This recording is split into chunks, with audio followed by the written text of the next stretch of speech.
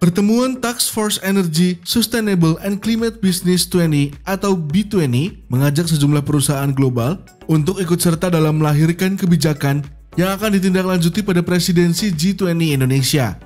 Pertemuan B20 Selasa 8 Maret sebanyak tiga rekomendasi kebijakan dan 14 rekomendasi tindakan dihasilkan. Ketiga rekomendasi kebijakan tersebut adalah meningkatkan kerjasama global dalam mempercepat transisi ke penggunaan energi yang berkelanjutan, dengan mengurangi intensitas karbon dari penggunaan energi melalui berbagai jalur. Kedua, memastikan transisi yang adil, teratur, dan terjangkau menuju penggunaan energi yang berkelanjutan di seluruh negara maju dan berkembang.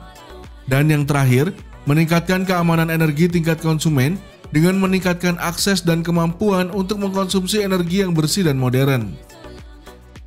Kami percaya rekomendasi yang ada saat ini dapat mewakili niat kami untuk merekomendasikan kebijakan yang relevan di bidang lain yang menggunakan isu keberlanjutan energi dan perubahan iklim, kata manajer Policy Task Force ESC B20 Oki Muraza.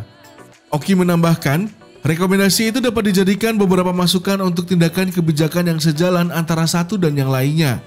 Selain tiga kebijakan, B20 juga mengeluarkan 14 rekomendasi untuk dibahas G20. Berikut rekomendasinya.